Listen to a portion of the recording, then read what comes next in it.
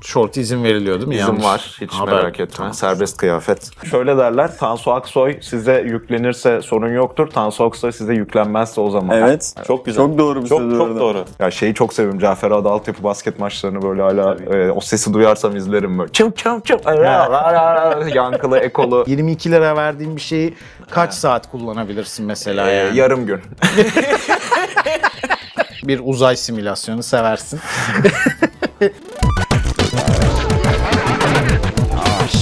Go get some sleep.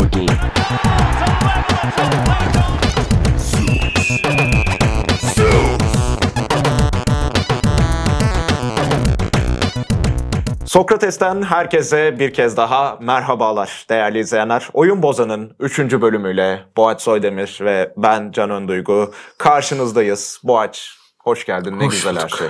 Vallahi güzel. Yazı getirdik. Yazı Ee, getirdik. bu senenin ilk shortlu içeriğine çıkıyorum. Ee, oyun programı diye geldim. Short izin veriliyor değil mi? İzin Yanlış. var hiç Haber. merak etme Tamam. serbest kıyafet. Ee, onun dışında yine geçen bölüme çok güzel yorumlar geldi siz değerli izleyicilerimizden. Komikler yani. Aynen harikalar. E, hatta şu yorumu da okumak isterim görmeyenler için çünkü aydınlandık adeta. E, bildiğiniz gibi bir e, Goa Paris Saint Germain maçı yapılmıştı ve biz Goa'daki Portekizli sayısına biraz şaşırmıştık. Bir izleyicimiz Uğur Kaplan yazmış. Goa 450 yıl boyunca Portekiz kolonisiydi.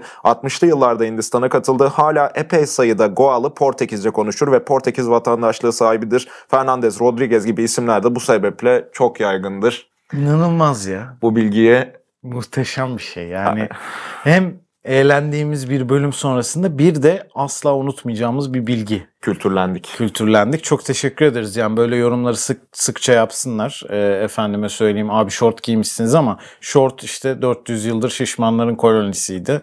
Ee, şimdi artık herkes giyebiliyor falan gibi böyle bu bilgileri bolca duymak istiyoruz. Evet istiyoruz. KFC'nin desteğiyle çekiyoruz oyun bozanı. Hemen duyurumuzu yapalım. E, Gamer Kova ve birçok başka lezzet avantajlı fiyatlarla KFC mobil uygulamasında sizleri bekliyor. Aynı zamanda o uygulamada 3 sipariş verdikten sonraki ilk siparişinizde Zinger Burger menüde hediye oluyor. Onu da duyuralım. Kaçırmayın efendim. Gerçekten güzel. Daha Ee, ne olsun. Daha ne olsun diyoruz Kesinlikle. ve e, şimdi yine konuklarımız olacak tabii Evet. ki E, ve e, birazdan o konukları burada ağırlayacağız. Çok özel işler e, başardılar.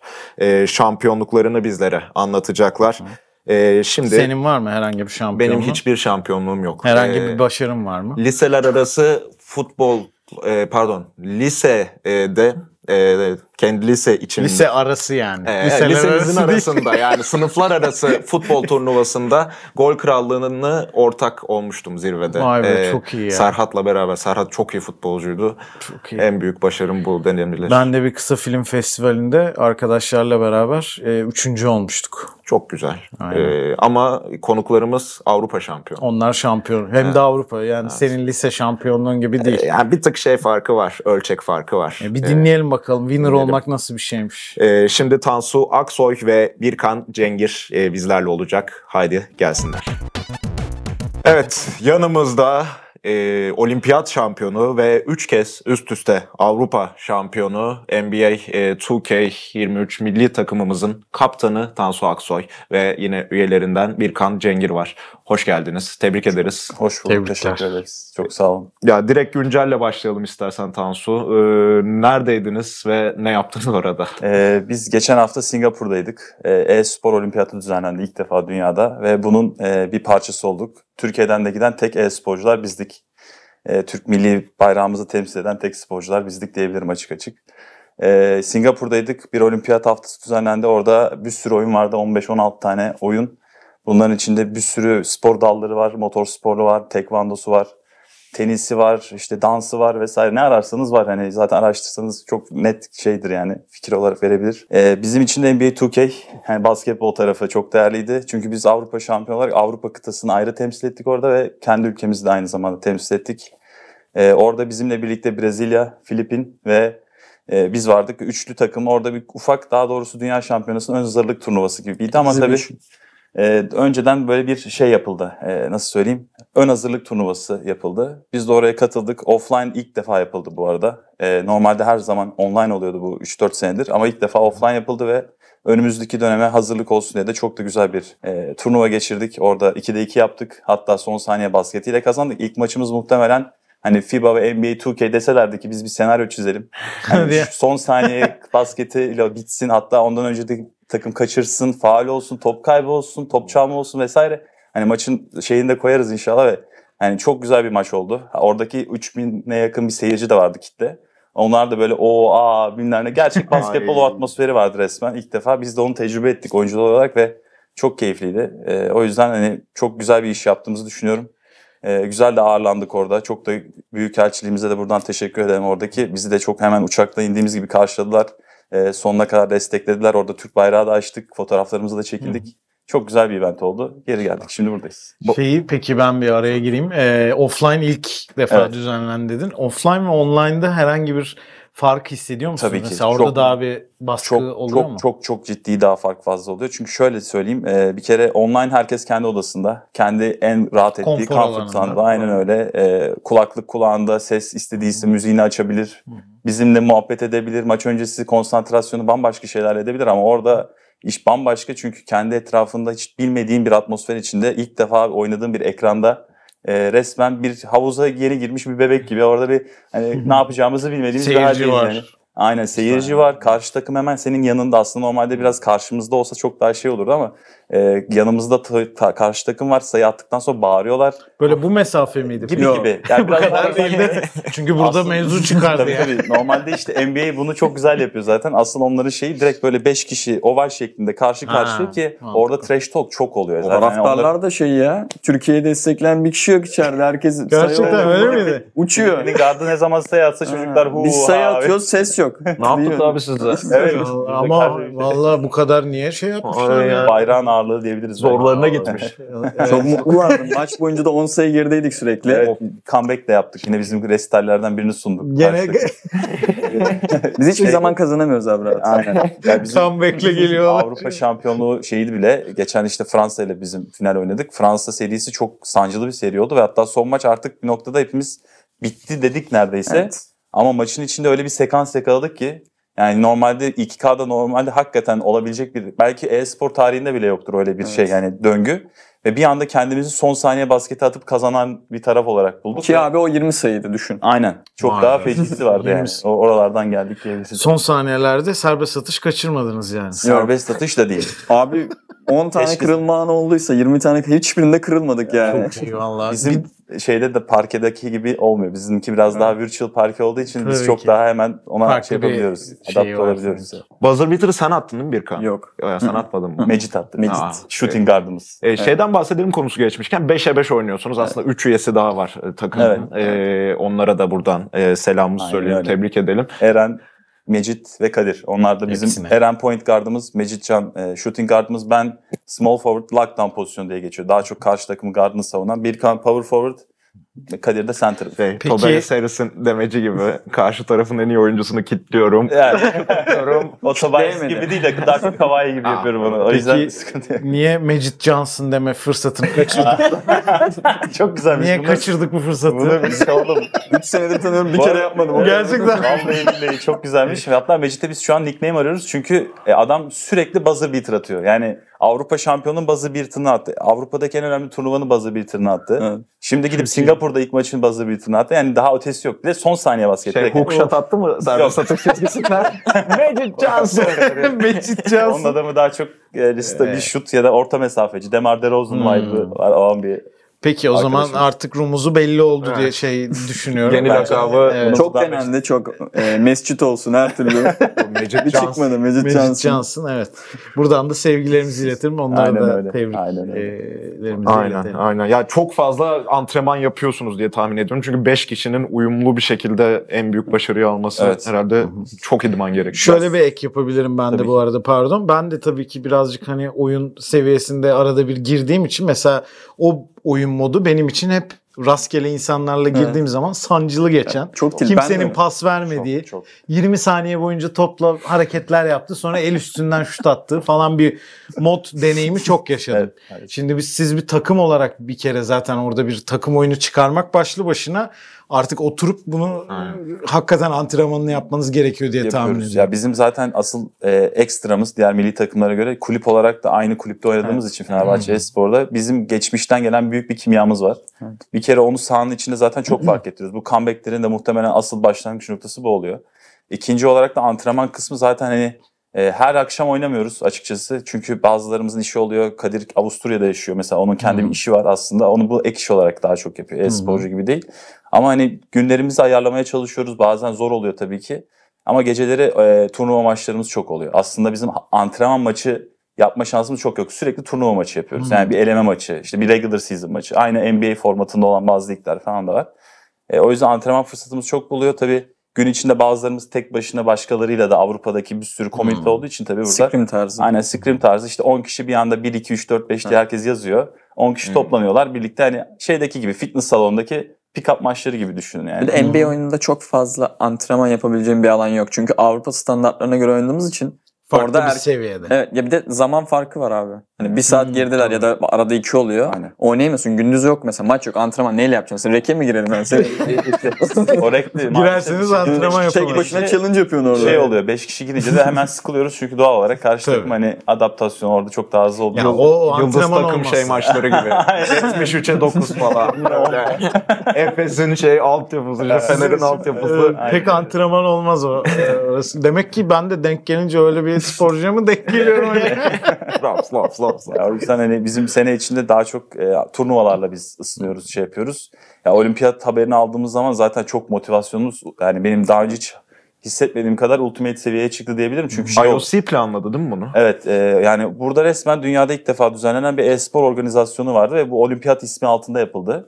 Dediğim gibi yani çok fazla madalya kazanan, ödül kazanan aslında official game olarak yapılan oyunlar da var. Bizimki Exhibition ismi altında geçti. Fakat e, şimdi FIBA, NBA ve NBA 2K anlaştığı için artık her sene regular olarak yani Amerika, Avrupa işte Avrupa kıtasından biz, Fransa'sı bilmem nesi, Asya'dan Avustralya'sı, Japonya'sı, Çin'i neyse hepsinin artık ortak bir dünya aynı ülkede buluşup aynı şehirde offline turnuvası olacak. Yani artık official oldu. Ya bu resmen şu an bir şey gerçek FIBA'nın iyi. şu an yapacağı bir şey aynısını e-sporda yapıyoruz gibi bir şey oldu. Yayıncısı belli mi? Valla şu an daha oralar Aslında değil. Türkiye'de yok mesela. Evet, Türkiye'de. evet. Şu an daha şey. Biz e, mesela bizim de- aranacak. Yani biz de bulmaya çalışacağız mesela. Ben e, yorumcuya adayım. Bizim de Zaten Focus- hayalimdi, çocukluk Süper. hayalimdi. Bizimle FIBA Focus Meeting yaptı orada. Çok güzel bir Evet. toplantı yaptı. Bir buçuk iki saat FIBA yetkilileri, oyuncular, işte Brezilya, Filipin, biz ve oradaki birkaç yetkili. Bize orada çok güzel sorular sordu. İşte daha şu ana kadar en çok mutlu olduğunuz şeyler neler? Bundan sonrası için gelişmesini istediğiniz şeyler neler? Şu an mutsuz olduğunuz şeyler neler vesaire. Ben, ben ve Kadir orada bizim hani İngilizcemiz de rahat ettiği için bir yarım saat neredeyse totalde biz konuştuk ve adamlar sürekli not aldılar bizden. Hani ne yapabiliriz vesaire. Çok iyi. Onlar da arıyor. Onlar Dinlemeleri da de çok, çok istiyor. iyi Tabii bu ki. Onlar Türkiye'de sorarlar, not alın. Yapacağız. Sormazlar bile. Orada çok şey yani bizden isim istediler. Hatta dediler ki ulaşın lütfen gidin söyleyin insanlara bunu ulaştırın. Biz büyütmek istiyoruz bu pastayı ne kadar büyütürsek o kadar iyi. Çünkü oradaki ben oyuncu olarak ayrı kendim hani bu işi organizasyon tarafında da etkili olmak istediğim için ya çok büyük bir potansiyel var. Gerçek basketboldaki değerin aynısını e-sporda oyun da güzel çünkü. Oyunda izlenebilir bir oyun bence kompetitif açıdan. O yüzden neden olmasın diyorum yani sürekli kendim. Bizim aslında seninle ikinci programımız Tansu. Daha Evet. önceden de bir araya gelmiştik. Aynen öyle. Şey biliyorum ben. Sen aynı zamanda işte eskiden Yeşil Giresun'da e, en üst ligde oynamış bir basketbolcusun Aynen. da. E, yani bunu karşılaştırma şansının olması çok özel herhalde. Ya evet sahanın içinde özellikle belki onlar daha çok hissediyordur. Ben iletişim açısından en çok değer veriyorum. Ben takımın hani sadece savunma kısmı değil hücumdaki eksikleri vesaire de olabildiğince yani chat kısmında ben oradaki kaptanlık rolünü almaya çalışıyorum. O da muhtemelen benim parkeden getirdiğim bir şey. Yani küçükken Fenerbahçe altyapısından kazandığım, üstüne Yeşil Giresun'da vesaire pekiştirdiğim oradaki o basketbolcu ruhunu, basketbol takım kimyasını onlara işlemeye her pozisyon gerekirse özellikle Eren'e hani Eren'e buradan şeyim olsun yani ee, Eren'e özellikle çok bazen yükleniyorum ama yapacak bir şey yok. En top performans neyse onu istiyorum çünkü. Sadece Eren'e mi? Evet, da diyeyim. Birkan da biraz oradan nasipleniyor arada. Zaten şöyle derler. Tansu Aksoy size yüklenirse sorun yoktur. Tansu Aksoy size yüklenmezse o zaman. Evet. çok güzel. Çok doğru bir çok, söz çok orada. doğru. Geçen Acayip seneden doğru. biliyoruz sonlarından. Evet, Çok doğru. İnanılmaz doğru ya. Abi biliyor musun sen mevzuları bizim aramızdakiler mi? Yok. Vallahi yani. O da kafa sallıyor. Evet, sonra Öyle bir cümle kurdun ki çok Öyle güzel. Bir öngörü ve çok net bir tespit oldu yani. İşte ne bileyim Obradoviç'ten aklıma. Eline sağlık diyor musun? Tabii ki. Ah, Çok seviyorum. Ya şöyle mesela bizim Brezilya maçı çok rahat başladık. Brezilya bir tık daha kötü bir rakipti Filipin'e göre. Biz bunu onları izledik çünkü Filipin 20 sayıyla Brezilya'yı yendi. Ya maçın başında mesela ben şimdi anladım ki bizimkiler biraz rahatladı. Mesela biraz daha relax bir moddalar oynuyorlar ki çok da kriz bir Filipin maçı geçirmişiz yani. Eren böyle çok da güzel başladı maça. Mesela Eren'e bir pozisyon şey oldum böyle. Hani bir şey söylemeye çalıştım. Bana bak diye uyardım mesela ona. Bana asla bakmadı o an. Mesela 3-4 defa bana bak bana bak. Bu kadar yakınlar bu arada. Bakma. Yani yan yana oturuyoruz böyleyiz. Ben peki dedim ama ondan sonra kendime şey dedim ki acaba çok mu üstüne gitti maçın içinde? Sonra her attığı sayıdan sonra, her yaptığı asistten sonra hemen yumruk uzatma, el uzatma, vay. aferin Eren bilmem ne Eren böyle böyle işte kendimizce maçın içinde o performans top seviyeyi nasıl çıkartabiliriz psikolojik açıdan, oyuncunun şeyi açısından. Ben de oraları deniyorum, yapıyorum diyeyim, ne diyeyim. Vallahi. Aynen ya gaza geldim Bizim de biraz. burada öyle bir karaktere ihtiyacımız var. Aynen. Alfa böyle Evet. şey. e, biz birazcık e, Neyse gene de eline sağlık şimdi. Aynen. Yani güzel program oldu 2-3 Aynen, bölümdür. Bakalım böyle devam edelim. G'yle de çok güzel pozisyon. Bizden olmazmış. aynen aynen biz e, köşede durup belki şut atardık. Ya şeyi çok seviyorum. Cafer Adı altyapı basket maçlarını böyle hala e, o sesi duyarsam izlerim böyle. Çım çım çım.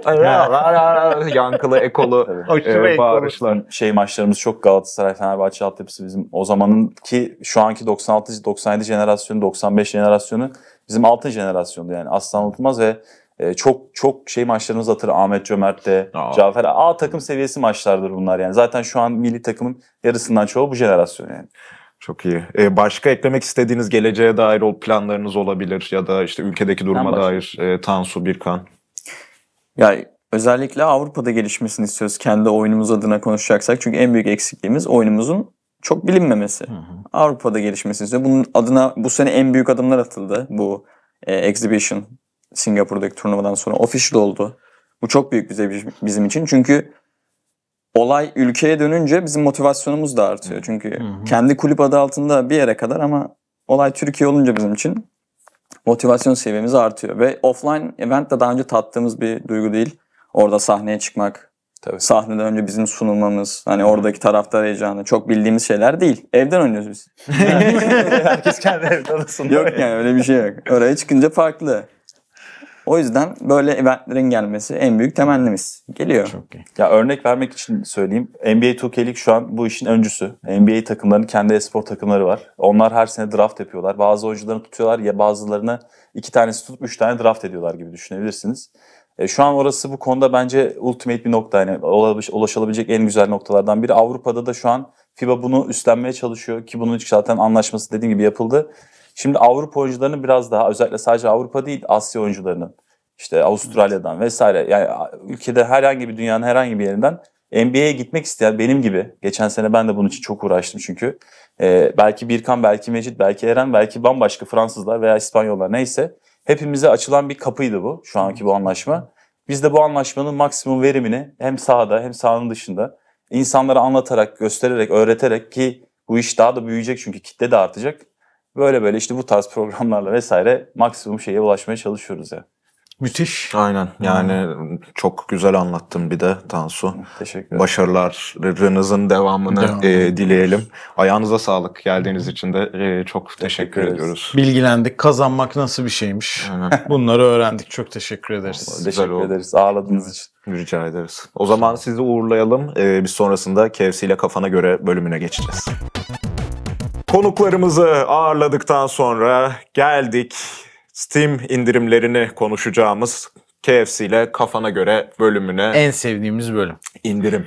İndirim değil. KFC ile kafana göre kısmı. Ama bu bölüm de gerçekten sevdiğimiz e, bir an. Çünkü e, oyun alabileceğiz bu hafta. Öyle bir güzel bir Normalden gelişme. Evet. farklı olarak. E, 6 Temmuz'da girecek bu program. 13 Temmuz'da indirimler bitecek sanırım. Evet yani biraz e, artık bu tavsiyelerin bir kısmı işe yaramamış olabilir. Evet. Çoktan e, bütçelerini harcamış olabilir dostlarımız ama böyle kıyıda köşede kalmış bir şeyler varsa belki de aa benim hiç aklıma gelmemişti diyebilecekleri bir iki oyun tavsiyesi yapalım dedik biz. Ne oyunlar peki bu ay? Valla şöyle şimdi enteresan bir skala seçtim. Ben tabii olan şüpheliler var yani çok popüler bilinen oyunlar. Bunları dahil etmedim. Çoğunluğu zaten açınca Var. görüyorlar. Ama böyle ilk başta akla gelmeyen hiç bu oyun tarzını denememiş e, insanlar olabilir. O yüzden ilk oyun önerim Euro Truck Simulator 2 olacak. Çünkü öyle bir oyundur ki zaten yani bu tarz bir şeyi seven çoktan almıştır.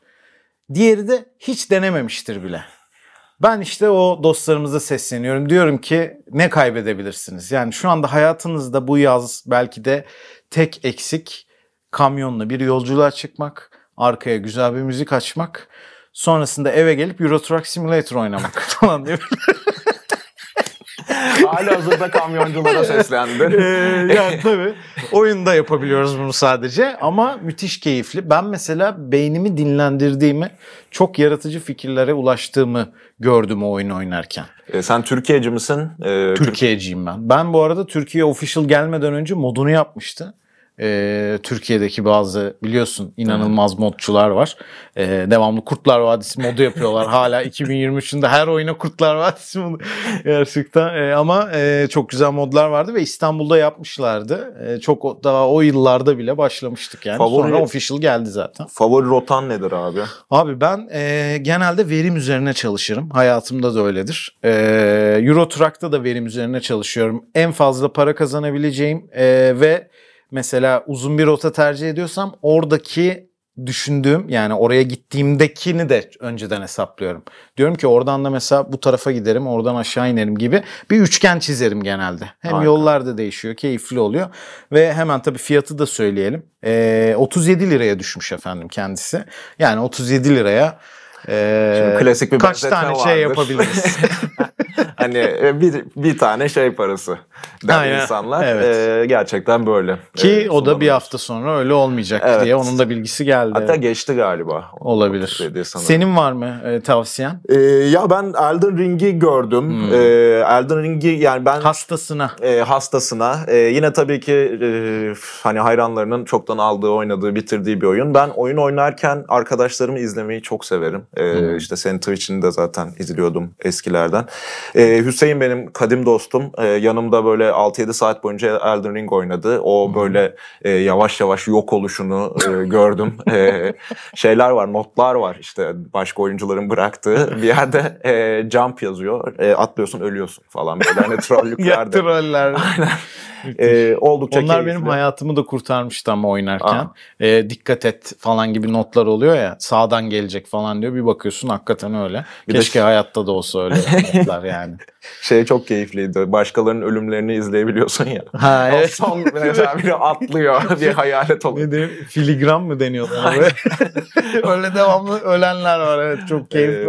Ee, bayağı eğlenmiştim. Başka Ben- var mı? Evet bir tavsiye daha yapmak istiyorum. Yine hastasına e, gider diyebileceğimiz ve e, daha önce şans vermemiş olanlar için de yine çok uygun bir oyun olacağını düşünüyorum. Civilization 6 yalnızca 21.90'a düşmüş. Böyle pazarcı gibi oldu ama yapacak bir şey yok. Yani Steam yaz indirimleri söz konusu olunca biraz pazarcı oluyoruz hepimiz. Neden bunu öneriyorum? Hiç denemediyseniz Civilization 6 belki de başlayabileceğiniz en iyi seri. Yani çünkü şey değil zaten hani abi 1 ve 2'yi oynamadım falan diyebileceğimiz bir oyun değil.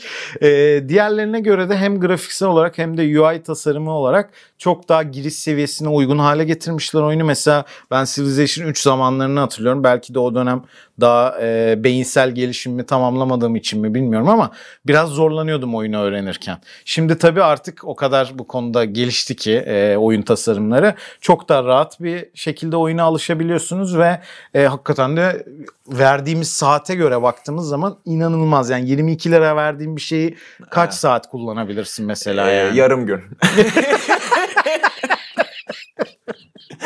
e, abi Civilization'a başlamayı çok istedim yıllar boyunca. E, bir iki kere açtım da ama ben hatta hala beyin, beyinsel gelişimi tamamlayamadığım için e, öğrenemedim. E, Çok ama, kolay işte tam zamanı. Ek, ek paketlerinin olduğu fiyat da şey e, paket de tam paket de indirimde yani. E, ama e, kendinizden emin değilseniz 22 lira da test edip sonraki indirimde de diğerleri alınabilir diye sözünü kestim. Yok hayır hayır. Ya ben de alacağım galiba Civilization. Valla gel oynayalım. Olur. Pandeminin başında bir Europa Universalis 3 alma gazına gelmiştim ama yani açtım bir saat baktım sonra kapattım. Ya Crusader Kings indirimde mi bilmiyorum kontrol etmedim ama asıl onu oynamamız lazım seninle. Çok iyi. İnanılmaz zevkli. Orta çağda e, onun da tavsiyesi olsun ama bakmadım indirimde mi. E, strateji oyunu, komik strateji oyunu seviyor şey e, hayal edebiliyorsanız en iyi e, aday kendisi. Çünkü başınıza gelmedik şey kalmıyor. E, neler neler oluyor. Ben mesela yanlışlıkla şimdi burada söylemem doğru olur mu bilmiyorum ama bir gün e, bir böyle handa bir pardon e, sarayda bir eğlence planladım. Bütün vasallarım geldi eğleniyoruz falan. Sonra gece bitti çok içmişim. Ee, sonra dedim biraz Crusader Kings oynayayım falan gibi.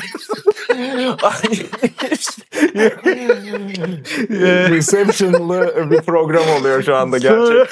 Katları arasında dans dayanamadım. ediyoruz. Ama çok iyi. Beynim birazcık e, kaydı. Güzel oldu. Ee, sonra oyunda e, şey oldu. Ben o kadar içmişim ki başka birinin odasında uyandım. Ve oyun sana bunu gösteriyor. Sen diyor e, böyle böyle bir şey yaşadın bu gece diyor. Ne yapacaksın şimdi diyor falan. Allah. Böyle yani bir yandan topraklarım var böyle savaşa gireceğim. Bir yandan da böyle ev dramasıyla falan uğraşıyorsun. Müthiş bir oyun yani. Güzel. Onu da tavsiye edeyim. Senin var mı başka Ee, tavsiyen? benim yok başka. Sende var mı? Ya son bir de e, ben abi e, 400 saat ayırmak istiyorum ya yeter ya. Bir, bu yaz var ya bilgisayar başından kalkmayacağım diyen dostlarımız için e, tavsiyelerim var. E, bir tanesi Mass Effect Legendary Edition 150 liraya düşmüş. 3 tane oyun var. Üçü de sapasağlam oyunlar. Üçün sonu birazcık eleştirilmişti zamanında ama toparladılar. E, şu anda da onları 4K bir şekilde 3 oyun boyunca artık kaç saat sürer bilmiyorum. Bir uzay simülasyonu seversin. Ee, onu tavsiye edeceğim. Onun dışında bir de Elden Ring yazmıştım. Onu sen söyledin zaten. aynen. Gayet yeterli bir liste oldu diye düşünüyorum. Bence de. Bizim Bence de. unuttuklarımız ve çok fazla söylenmeyen tavsiyeleri de aşağı yorumlara yazsınlar. Çünkü gözden kaçabiliyor gerçekten. Bir sürü oyun var indirimde. Kaçırabiliyoruz. Ne güzel aklına geldi bu yorumlara yazma işi. Hakikaten. Ya öyle. Yani Evet. Çünkü bak gördün işte Goa'dan ne kadar bilgi sahibi olduk. Burada da bir şeyler öğreniriz. bu bir haftada da pek çok indirimli oyunu yorumlardan öğreneceğiz gibi gözüküyor. Evet. O zaman bölümün sonuna geliyoruz. Valla KFC'ye çok teşekkür ederiz. Short'la bir bölümde yer almak benim için çok özel bir tecrübeydi. Karnımız doydu, bilgilendik, öğrendik winner'lık nedir onu gördük. Harika bir gün geçirdim. Harika bir gün geçirdik. Ee, bir sonraki bölümde Oyun Bozan'ın dördüncü bölümünde görüşmek üzere değerli izleyenler. Çok teşekkürler tekrar yorumlarınız için ve hoşçakalın. Oh shit. Go get some sleep. Again.